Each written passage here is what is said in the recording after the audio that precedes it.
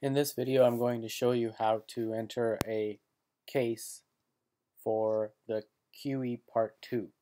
So first thing, I log into the developer portal here and here I'm going to show you how to develop a case for the qualifying exam Part 2. So the first thing you'll notice there are these tabs uh, in the top right corner and the first one is my questions, and if you click on that, it'll show you all the cases and questions that you've developed here on the left-hand side. The second tab is documents, and if you click on that, it will show you a long list of documents that we've uploaded that will help you develop your cases. So for example, for QE Part 2, MCC QE Part 2, we've uploaded uh, guidelines, we've uploaded sample cases, uh, a lot of information that we hope will help you develop your cases. Uh, the next tab is instructional videos. If you click on that, it will show you uh, videos that help you develop cases on these templates. One of those videos is the one you're watching right now. Uh, the next tab is password. That's just to change your password. And the final one is contact us. If at any time you have any questions, please contact us and we'll help you. So now let's get started with developing the case. So the first thing you would do is from this drop-down menu, you choose QBank for the MCCQE Part 2. And when you do that, you have three choices because there's three types of cases. There's a five-minute case that involves history taking, a five-minute case that involves physical exam, and a 10-minute case. So I will show you in this video how to create a case for the first one, which is a five-minute case that involves history taking and then click on this new case button and then the template will come. I'll enlarge the template here. Okay, so the first thing I wanted to show you in this template before we get started is these three links. Please uh, click on these links and read the information to familiarize yourself with this exam. The first one is detailed information about the MCCQE Part 2. The next one are the objectives for this exam. And the final link is the candidate general info. These three links contain valuable information about the actual exam that will help you uh, in your development of these cases. So now this is the first part, uh, that's what this one means, of the template. So the very first thing you would do is choose a subject. So let's just choose medicine. When you choose a subject, uh, a list of topics will appear. Now these topics are preloaded because these are the topics that we need cases developed about. Uh, so let's just choose one here. And then one thing that will happen is when you choose a topic, some information will appear here. This is information that we hope you will use uh, when you create your actual um, case. Sometimes the information is very brief, while other times it might be a little uh, longer. Um, I'm trying to find one that's longer. But, oh, here's one. Here's one has a lot of information. And the point of this information is to help you uh, with regard to what you will enter uh, into the case. This is uh, some of the things that we feel are relevant to this topic and we hope that you will use it. Alright, so now that we have entered our subject and topic, the next thing we do is we start entering the case. So the first thing is this opening stem. This is the first thing that the that you will enter into your case. Now you have a choice. You can enter the information uh, directly onto the template, or you can do uh, what I prefer to do, which is type it out into a document and then cut and paste. Uh, the only reason I do that is because uh, the software I use to type in my documents allow uh, have a spell check, whereas the template doesn't. So here's my uh, opening stem. I've already written it out, and I'm going to just copy and paste it into the template. And just like that.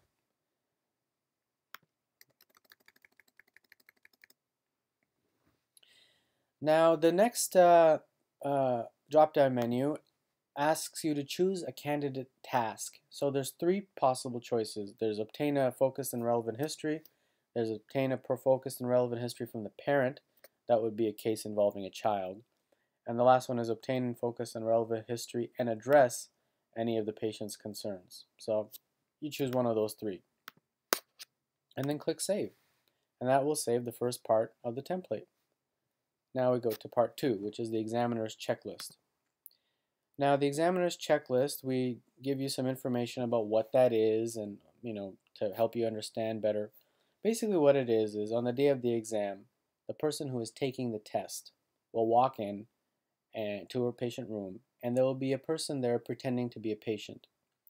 So the examinee, the person who is taking this exam, will have to ask the patient these questions. And then the exam the once the examinee asks these questions one at a time, the patient uh, the, or the actor pretending to be a patient will answer back these responses listed here on the right hand side. Now what we've done is we've preloaded 17 uh, possible questions.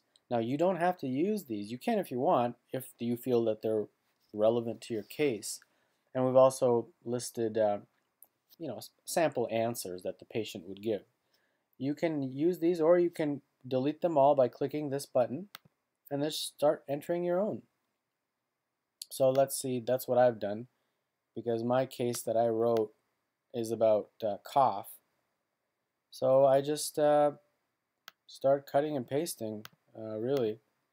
This is my first question.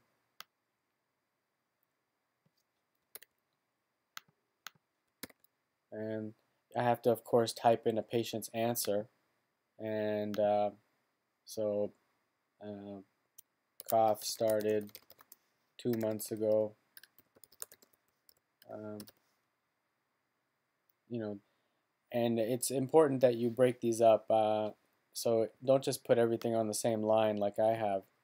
Uh, break it up. So asks about onset, asks about uh, duration, asks about progression, etc. And of course, you would fill in the answer. So the duration is uh, five minutes at a time. Whenever the person coughs, it lasts for five minutes. Progression, getting worse, so on. And if I go back to my uh, case, these are some of the things that I've written.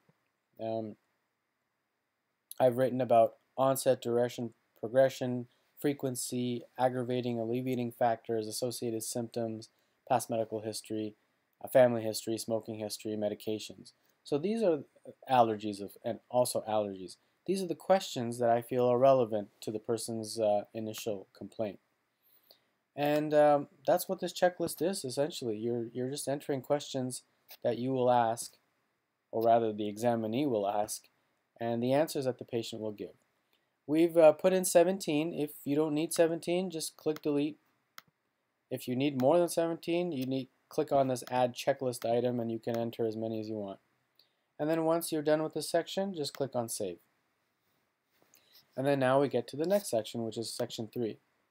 Section 3 involves um, this scoring table, but you actually don't have to do anything to the scoring table. It's just there as a, uh, it's just there for your information. It's part of the case. You don't have to do anything.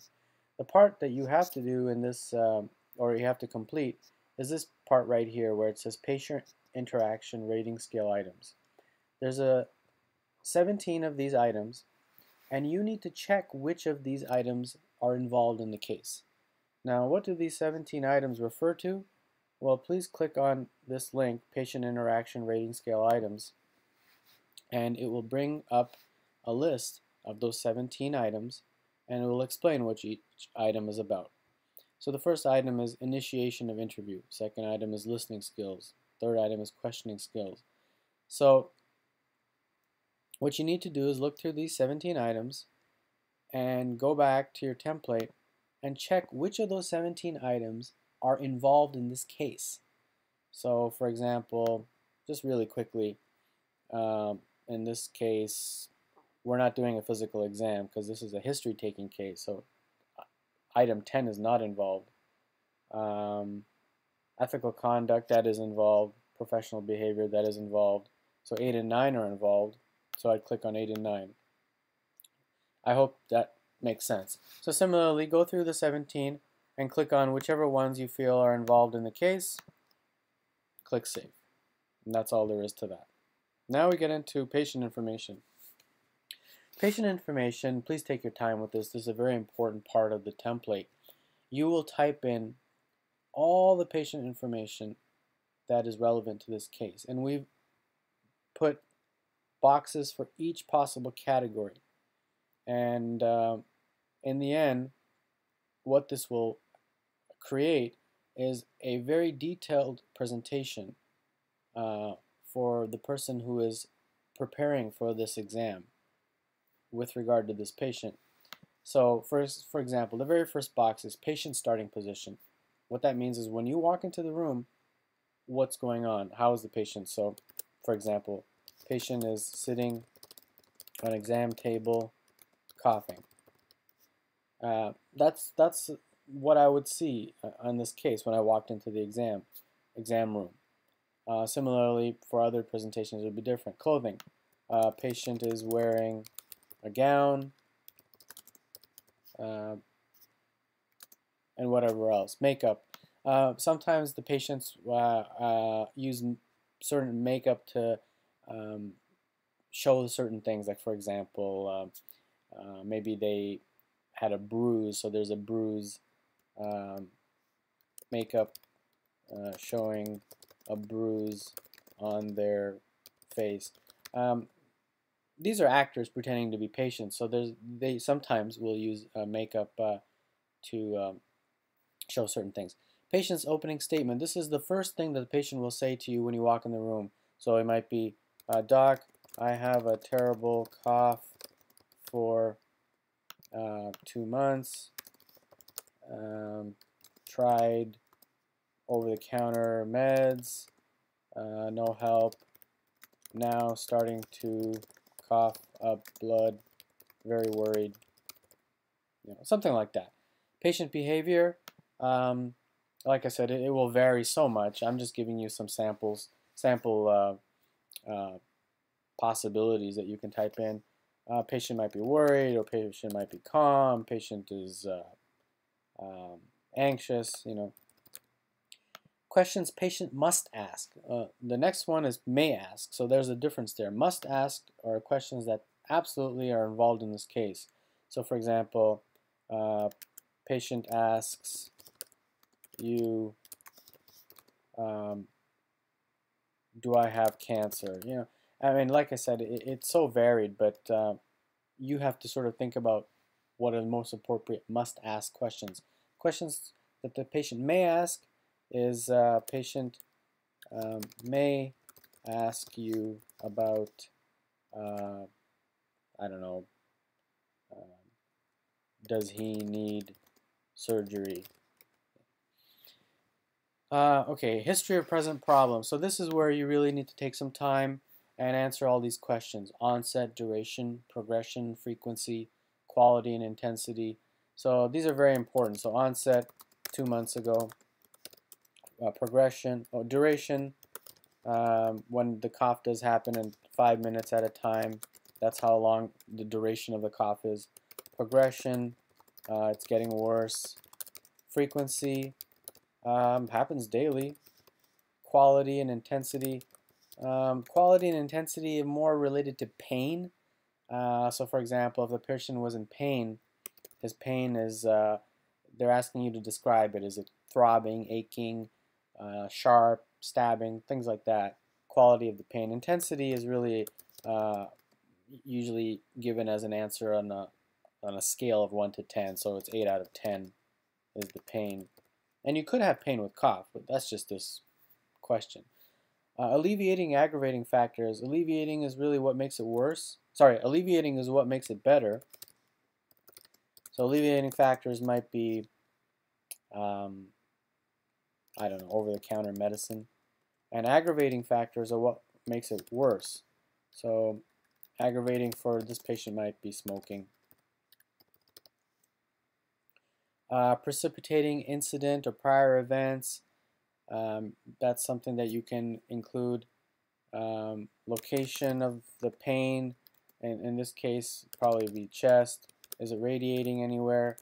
Um, right arm. And associated symptoms. um, hemoptysis in this case, coughing up blood. Maybe he has some nausea and vomiting. Uh, so this this takes some time and put in a good history of present problem.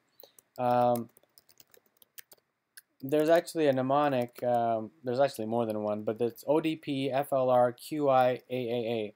O is onset, D is duration, P is progression, F is frequency, L is location, R is radiation, Q is quality, I is intensity, AAA, A is alleviating factors, the second A is aggravating factors, and the last A is associated symptoms. So that's something to help you. Patient issues. Um, describe the patient's concerns and perception of the problem. So he feels this is very serious. Uh, past medical history, perhaps he has COPD, um, maybe he has, I don't know, tuberculosis in the past. Relevant social and family history, uh, social history, he smokes, um, no alcohol use, family history. Um, he has a family history of lung cancer. And then review some systems. Similarly, go through this and um, just give the pertinent positives. So, uh, you know, so he has positive cough, positive hemoptysis, um, the pertinent positives. Patient simulation. Um, you need to provide information explaining what must be simulated to ensure a credible presentation. So what this patient absolutely must simulate, what this patient who is an actor absolutely must need to do while you are in the examining room. So for example, he must need to cough or express concern, etc. Physical findings, uh, if the if the uh, case involved is a physical exam case, you need to uh, write what we need to find on a physical exam. So for example, if this uh, case involved abdominal pain, we must find um, abdominal pain on physical exam. And then um, which where what is the location so right upper quadrant etc information giving um, describe the patient's concerns uh, and their expected uh, responses to the candidate questions so we've given you some uh, samples like the the patient gets angry or the patient is uh, calm so you, are trying to explain a little bit about the patient's uh, perception of the problem and their response, the way they respond to you. That's important too. And pertinent negative. So what does the patient not have? So for example, the important things that are the patient does not have. So there's no fever, there's no weight loss, whatever you feel are pertinent negatives. And once you're done, click Save. So that's an important section. You'll have to spend some time on that. The second last section is this post-encounter probe. At the end of every five minute case, there will be a question and answer, and we've tried to do our best to explain how to prepare this question and answer for this case. And we're giving you sample questions, sample answers. And here's the template. Now I've already written out some sample questions, and I'll copy and paste them. Here's the first one that I created. And the first question I created was, what is the most likely diagnosis? And then you need to enter three questions. And then for each question, you need to enter in three, well, not three, but answers. Uh, and I've actually have three. And let's see, I'll enter those in. I'll type those in. I've written bronchitis, uh, lung neoplasm, and asthma. Now, the scoring is the important part. What you're really doing is you're creating possible answers, but some of these answers will have a higher score than others because they're they're better answers. So you have to decide. So I'll give bronchitis a score of 2, I'll give lung neoplasm a score of 1, and asthma a score of 1. And the maximum score is 2. So let me explain what this means. If on the actual exam the patient is asked what is the most likely diagnosis, if they answer bronchitis they would get a score of 2. If they answer lung neoplasm they'd only get a score of 1. Similarly with asthma they'd only get a score of 1. That's because based on all the information they've been presented in the case, bronchitis is the best choice. And I hope that makes sense. I'll put in one more question here to give you a little bit more uh, information about this part. So the second question I wrote was, what is the most appropriate next step in patient care in terms of diagnostic testing? Okay, now I've put in chest x-ray as one of them, sputum culture as another possible, and my last one was CT of chest. Now I need to give these uh, uh, choices a, weight. So I've decided that based on my case and based on all the information that chest x-ray is the best answer. Sputum culture, sure, but it's not that great of an answer. And CT of the ch chest, sure, it's an okay answer, but it's probably not the best answer. And I've decided that I'm going to give this a maximum of 4. And what that means is that on the day of the exam, the, patient, the, the examinee can put in chest x-ray and sputum culture and score 3 points for chest x-ray and 4 points for sputum culture and score the maximum. So I hope that makes sense. And then I have one more question about what appropriate counseling would you give and I wrote smoking cessation, discuss about bronchodilators, discuss about spirometry, and similarly I've given it a score. And that's uh, the post-encounter probe, save section. And then finally, this is a section called references. You just enter a reference that you use to create the case. So uh, author of textbook, uh, James Smith, name of textbook, I don't know, manual of uh, chest diseases. Um, year of publication 2008, pages cited, pages 235 to 265. And then click Save Section. And that's it. That is your case entered entirely. And then you would submit it for review by clicking this.